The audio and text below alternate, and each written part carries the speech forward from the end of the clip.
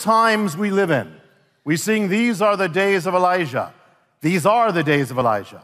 But the days of Elijah weren't just days of miracles, they were days of a nation that had once known God, but had turned away from him, turned inside itself, at war against its own foundation. Ancient Israel was founded by God for his glory. Yet in the midst of its blessings, it forgot God, turned away from God, and drove him out of its public squares, drove him out of its culture, brought in gods and idols, and began to call what was evil good and what was good evil. They performed, or they actually profaned what was sacred, and they sanctified what was profane. They celebrated immorality. They offered up their children as sacrifices to the gods there have only been two civilizations in human history that were founded solely for the purposes of God. The first was called Israel, the second was called America. America was founded by the Puritans to be a city on a hill, to be a civilization that existed for the glory of God. It was founded after the pattern of ancient Israel, to be an Israel of the New World. But as ancient Israel, in its blessings, fell away from God, so too have we. We have driven God out of the public square. We have driven God out of culture. We have brought in other gods. We have served idols. We, we too have called what is evil good and what was good evil. We too have profaned what was sacred and we celebrate what is profane. And where Israel offered up thousands of its children, we have sacrificed millions of our unborn children on the altars of self. We become a nation at war against the foundation on which we were established. And these are the days of Elijah. Ancient Israel moved away from God to judgment and called, God called to them. He sent prophets to them. They ignored the prophets. And then he sent warnings, harbingers, signs of judgment. God has done the same to America. For those who haven't read the harbinger in a nutshell, the same harbingers, signs of judgment that appeared in the last days of Israel have now appeared in America, some in New York City, some in Washington, some involving American leaders, each one identifying a nation that has known God but has fallen and increasingly at war with his ways and in danger of judgment. And the harbingers have not stopped, as I will show. Even the Shemitah, for those who know, has continued. For those who don't know, the Shemitah is the seven year biblical phenomenon that has marked some of the greatest financial economic crashes in history. This last and most recent Shemitah marked the first time the stock market collapsed into the red in seven years since the last Shemitah. Not just in America, but around the world, witnessing some of the greatest crashes in history the crash of global trade, industry, earnings. In fact, the last Shemitah was the worst year for, the, for money all around in 78 years since the Great Depression, 1938, which was the year of the Shemitah. But the word Shemitah literally means the fall or letting fall. There was another kind of fall. One of the most pivotal changes that just took place. The American age began in 1871 when America became the strongest economic power on earth. That age came to an end with this last Shemitah. America's crown was removed as the strongest economic power, and it was passed to, you can guess it, China. And then there was a fall of a different kind. There is a date on the biblical calendar that marks calamity. It's called the ninth of Tammuz. On the ninth of Tammuz, the armies of Babylon broke through the protective walls of Jerusalem, holding back the nation from judgment. They breached the walls and then judgment came. The ninth of Tammuz is a day of mourning on which the nation's hedge of protection from judgment came. The ninth of Tammuz in the year of the Shemitah, the ninth of Tammuz fell on June 26th. On that day, the United States Supreme Court broke down the hedge that defined marriage as we know it. The protective hedge of judgment. The day of the hedge being broken down was removed on that day. On that same day, the President of the United States ordered the White House lit up in the colors of the rainbow to celebrate the striking down. But the rainbow does not belong to man, the rainbow belongs to God. It is the sign of his throne. It is a sign of his authority. And a nation that desecrates that is saying we are not under the authority of God. The rainbow is the sign of the covenant of God and his mercy in the face of judgment. A nation that breaks that is proclaiming it stands in defiance of his mercy. These are the days of Elijah. And we're going to get to America, but let's first go to Israel. There is a covenant that has determined human history for 4,000 years. If you bless the children of Abraham, the Jewish people, Israel, you shall be blessed. If you curse them, you shall be cursed. America, more than any other nation, has blessed the nation of Israel. And therefore, America, more than any other, has been blessed by God. But under the last presidential administration, not only has America, his fall from God accelerated, but America's relationship with Israel has deteriorated to its worst state. And then just recently, just a while ago, at the very end of his presidency, the last president did something of prophetic import.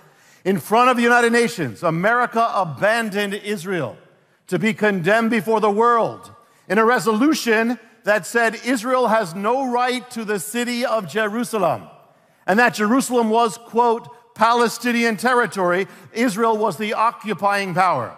Now, if any city has ever belonged to any nation, it is the city of Jerusalem to the nation of Israel.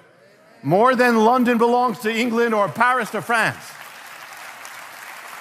It is the only capital in the world that the nations of the world refuse to recognize. And yet, the only capital in the world whose real estate deed is the Word of God, the Bible. America, under the former president, not only allowed this to happen, but actually engineered it. The United Nations spoke as the authority over Jerusalem, but the United Nations is not the authority over Jerusalem. The European Union is not the authority over Jerusalem. Barack Obama was not the authority over it. There's only one authority over Jerusalem, and his name is the Lord God of Abraham, Isaac, and Jacob. The Holy One of Israel is his name, and his word is the final word. Long before the United Nations ever existed, the Lord of hosts issued his own resolution concerning Jerusalem.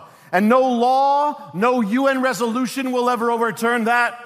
Concerning the United Nations resolution, Barack Obama refused to veto it, but the Lord God Almighty, He has already vetoed it. And even this is prophecy, a sign of the times. For two and a half thousand years ago, the Word of God through the prophet Zechariah said, In the last days I will make Jerusalem a cup of reeling, a stone of stumbling, and all nations that try to move it shall be injured. The Bible says that in the last days, Jerusalem will be back in the world. The world will be fixated on it. The nations will gather against it. Amazingly, this is exactly what has happened even in the United Nations. What other city does the world so focus upon? Does the peace of the world hang upon? 2,000 years ago, Messiah said of Jerusalem, he said to the Jewish people, You will not see me again until you say, Blessed is he who comes in the name of the Lord. Baruch haba Hashem Adonai. For that to come true, Four things had to happen. Number one, the Jewish people had to survive against all odds, against all hell, to say those words, and they did survive. Number two, the Jewish people had to return to the land of Israel against all odds from the ends of the earth to say those words, and they did return. May 14, 1948, back in the world. Number three, they had to return to Jerusalem to say those words where he said those words.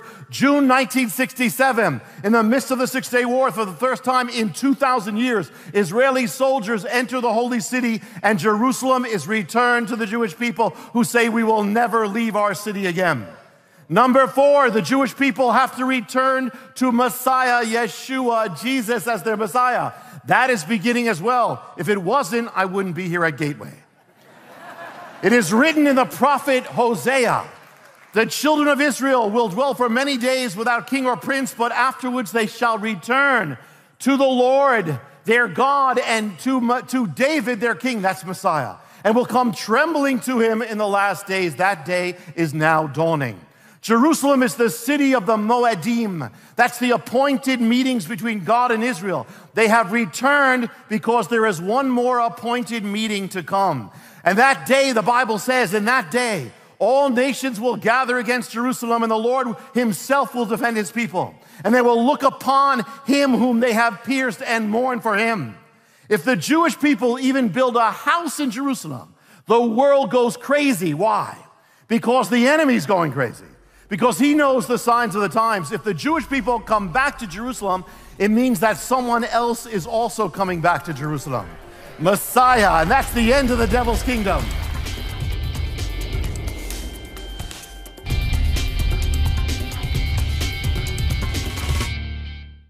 And you, people of God, you are God's Jerusalem too. And so the enemy will war against you. And so when all hell is breaking loose around you, don't be discouraged, be encouraged. What it means is that God has a calling and a purpose on your life. If not, the enemy wouldn't worry about you. If he's attacking you, great is the calling. So hang on because God has something great coming. In three months, it will be the 50th anniversary of, the, of Jerusalem, the prophetic event, the restoration of Jerusalem.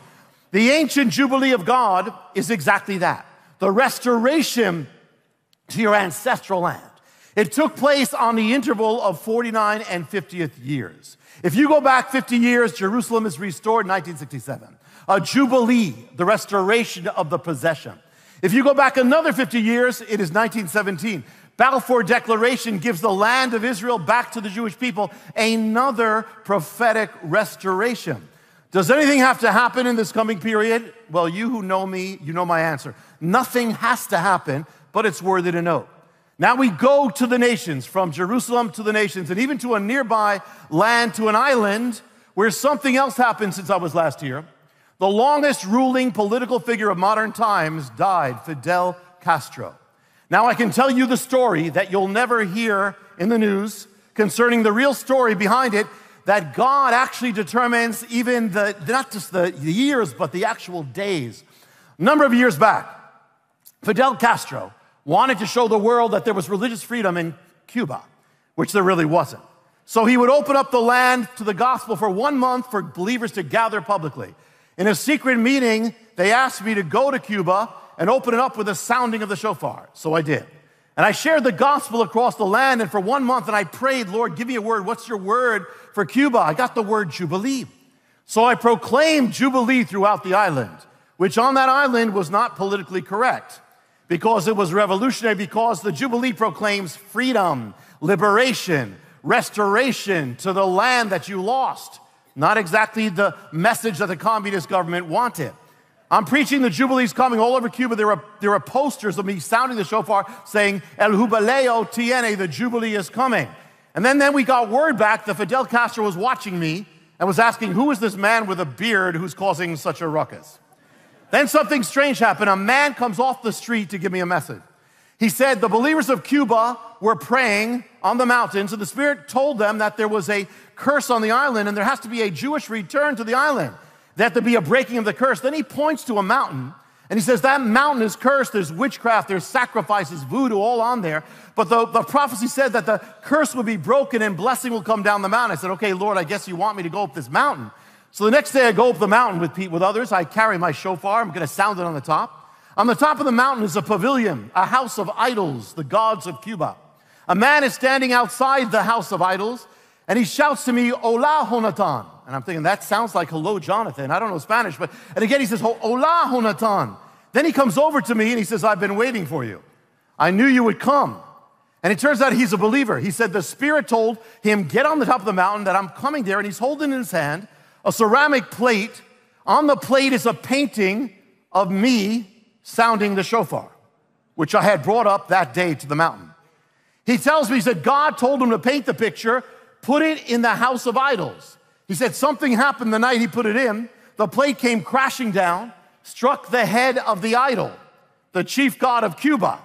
The next morning, the worshipers opened up their pavilion. They found their chief god, the god Ochun, on the floor with her crown removed.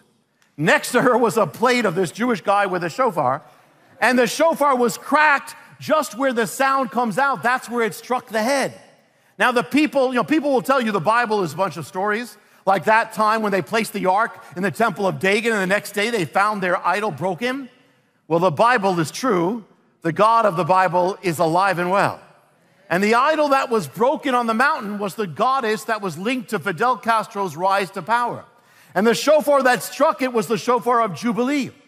So we made our way to the capital city, Havana, where Fidel Castro was to join there in that last meeting. Now, before I left, a man from Cuba, Cuba shows up at the congregation, gives me a word. He says, You're going to go into the palace of the king. It happened that I received an invitation to go into the palace of Fidel Castro. So I entered the presidential palace and I gave him a Bible and a shofar of Jubilee. And a prophetic word about the Jubilee and the island and freedom of God. But the Jubilee contains a mathematical countdown. It's written in Leviticus, you shall count seven times seven to the 49th year, and then will come Jubilee. The message of the Jubilee was of, of a prophecy. God is sovereign. Here's the thing Fidel Castro came into power in 1959. A bondage came over the land. If you count seven times seven years to the 49th year, it comes to, it comes to 2008. The reign of Fidel Castro began in 1959. When did it end? It ended in 2008 when he stepped down the Jubilee, seven times seven years. And since then, there's the beginning of a release. But if you get even more exact, seven times seven, you go to a jubilee of years and a jubilee of days, seven times seven years and seven times seven days. Get the day when he first came to power, January 1st, 1959, New Year's Day. Count the exact days, it brings you to February 19th, 2008. Fidel Castro stepped down on that exact day. What weapons couldn't do, what America's military couldn't do, the Jubilee of God did. What happened? You know, see, what, God is exact. Eh, the numbers in Leviticus. And what happened to the people who worshiped the idols when they saw that idol fallen? They took it as a sign from heaven. And we got reports that people in the city began coming to their churches, bringing their idols, and telling the pastors, Smash our idols. We heard what happened on the mountain. There was revival that broke forth. And that revival has not stopped to this day. What does it tell you? No matter what it looks like in your life, the final story is God is totally in control. And He is greater than any problem, and greater than any obstacle, and greater than any bondage. You have freedom in God. You need to claim that and you need to walk in it. God is the God of freedom. And it tells you in the world that He is the one who raises kings to the throne, and He's the one who removes kings from the throne, which brings us to America and what just happened. We spoke of the Jubilee and the timing. Well, the Jubilee, the trumpet sounded throughout the land. Well, there has been a trump that's been sounding out this land. How's that for a segue? When I wrote The Harbinger, long before this election, I was led to put something in there that most people missed. Donald Trump is actually in The Harbinger. I won't say where you can find it, but he's linked to the mystery. Is it possible that this amazing outcome of the election was not caused by Donald Trump, but by a covenant 4,000 years old. Let me show you. The Abrahamic covenant is not just a, of blessings and curses, it's of reciprocity. What you do to Israel shall be done to you. A little over a year before this election, there was an election in Israel with Benjamin Netanyahu running for re election. Article after article came out that Obama was supporting a group trying to defeat Netanyahu, if you remember and to end his legacy, end his position, and that he was interfering in election of a sovereign nation, Israel. But the Abrahamic covenant says, whatever you do to Israel shall be done to you. So if you intervene, listen, if you intervene in the election of Israel, God will intervene in your election. If you seek to end the legacy of the leader of Israel, then your own legacy will be undone. The Obama administration cl- claimed that the election was interfered with. There was Russian intervention. Now, if any election showed signs of intervention, it was this one, but it was not the Russian intervention that determined it. The intervention was a bit higher. The media will never tell you the real story. But as the sons of Issachar, we are to understand the times. The stakes in this election were colossal. It threatened to seal the future of America, the future of the Supreme Court, the future of religious liberty. It threatened to seal the acceleration of America's apostasy. Now, this is not about politics, it's about the ways of God. The platform of one party was the most brazenly anti biblical in the history of that party, including the pledge to strike down the Hyde Amendment, meaning your money would go literally to the funding of the killing of unborn children. And then you had these words, these words. Deep seated religious beliefs must be changed. Who said that? Fidel Castro, Joseph Stalin? No, Hillary Clinton said it. Never had any major candidate in the history of America ever uttered such word. Deep seated religious beliefs must be changed. Why? So that abortion may expand. The stakes were colossal. It looked hopeless. Poll after poll showed a decisive victory for the Democrats. And then came the election, and something happened. The media was in shock. The White House was in shock. The Democrats were in shock. The Republicans were in shock. Even Donald Trump was in shock. God's people have been praying for God's intervention, and what happens stunned virtually everybody. When something like that happens, so against the odds, it is usually a sign of the hand of God. Has Donald Trump been an example of a Christian life? Absolutely not. Are there concerns? Absolutely yes. But can God use those who haven't known him or served him to serve his purposes? Absolutely yes. He does so all the time. And whatever you feel about Donald Trump, the fact is that through this election, that sealing of America's faith away from God has been for a moment stopped, held back, stayed. It tells you something for your own life. Listen, even when it's hopeless, with God, there's always hope. Never, never give up. We must, as the children of Issachar, know the times, lest we grow complacent. It is important to know and keep in mind the template of the harbinger of ancient Israel when it was heading to judgment. God, in that template, God gave them reprieves, God gave them windows to turn back to God.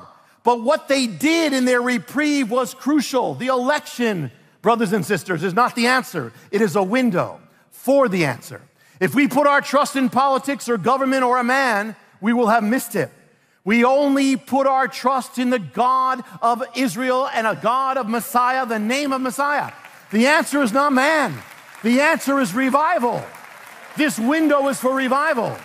And if there is no revival, America's progression to judgment will continue. The nation has not yet turned back, and there's a great warfare, and the harbingers have not stopped. In the last days of Israel, as in the days of Elijah, the people of Israel were worshiping the god Baal. Could the sign of Baal actually uh, manifest in this land? Well, the answer is it already has. The arch that led the worshipers of Baal into the temple of Baal was actually erected in New York City. The Arch of Baal. I was there, I witnessed it. As they unveiled the arch to Middle Eastern music, they had a sign that proclaimed the temple of Baal. These truly are the days of Elijah. The sign of Baal are the signs of a nation that once knew God, but is rapidly moving away from God to judgment. We've got a window and we must use that window. What time is it? It is time to go all out for revival. It is time to go all out praying for revival, interceding for revival, ministering for revival, all out proclaiming the gospel for revival. And we must do something else above everything. It is time that we don't just pray for revival, we actually start living in revival. Because if you live in revival, the revival starts now and nothing can stop it. The time is late, my friends. If there is anything in your life that has no place in the life of one so called as you, you must get it out. If there's anything that God has called for your life and you've been saying, no, not yet, Lord, the time is now to get it in and say yes to God. Give your commitment today before you go to bed. Make, take one step, do what you have to do, commit what you have to commit, and God will anoint you. God will anoint you, for the eyes of the Lord are searching the entire earth, looking for the one whose heart is completely His. You be that one. You be that people. You be that one, for these are the days of Elijah. It is time that we become the Elijahs of the day. Be strong, says the Lord. Be of good courage. Be bold. Take the stand. Live uncompromised. It's the only way to live, and God will anoint you. These are momentous times. It is time we become a momentous people. These are the most challenging times, yes, but these are exciting times. These are biblical times. And if the bad is going from bad to worse, it is time for the good to go from good to great. What time is it? It's your time. It's your time to rise to it and become great in it. And remember what I have shared with you this day. No matter what you see, no matter what you feel, no matter what you hear, no matter what you see on television, no matter what, God is still on his throne. And he's never out of surprises. He is stronger than kingdoms, he is higher than kings. And though the mountain shall fall into the heart of the sea, we shall not fear, for the Lord our God is our refuge. And though everything that can be shaken will be shaken, you who trust in the Lord, you who stand in his name, you shall not be shaken, and you shall not be moved. Today, Tonight is the feast of Purim. And what does that tell you? Purim tells you that all, that all hell, though all hell comes against the people of God, in the end you hold on, you don't give up, and you shall prevail. It is written, you are a citizen of Israel. If you are born again, you're a citizen of Israel. And from ancient times, all the forces of hell have warred against that nation. The pharaohs of Egypt tried to, tried to destroy them. The emperors of Assyria tried to obliterate them. The armies of Babylon tried to crush them. The legions of Rome tried to wipe them off the earth. The Nazis of Hitler tried to exterminate them. The Soviet Union tried to erase them. And the terrorists vow they will make them perish.